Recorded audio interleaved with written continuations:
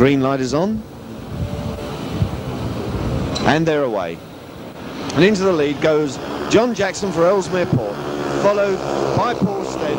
And in third place is Billy Burton. At the back of the field at the moment is Eric Monaghan, but Eric Monaghan in fourth place trying to go round Billy Burton, the home skipper.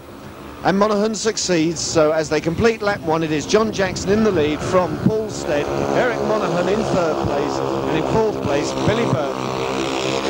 John Jackson, of course, has a fine record here at Loomer Road.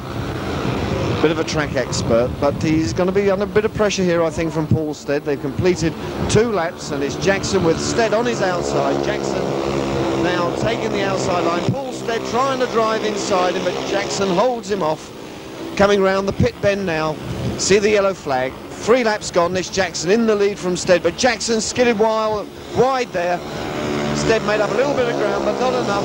It's John Jackson still in the lead as they power down the back straight for the final time. In third place is still Eric Monaghan, but as they come off the pits bend, there's Stead trying a desperate outside burst, but doesn't quite succeed, but a fine effort from Paul Stead. But the result, a win in white, John Jackson. Second, Paul Stead in blue. Third, Eric Monaghan. Fourth, Billy Burton.